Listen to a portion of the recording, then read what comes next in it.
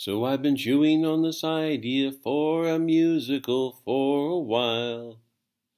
And I know what I want the plot and all the relationships to be. But I'm having a hard time with the actual songs I feel. Like I know how I want them to go, but I'm really stumped here. I know how to read music but I've never written it before. Is writing songs for musicals? Do I need a collaborator? Should I try to find a musician who could help me with do re mi? Or is there something else I'm not thinking of?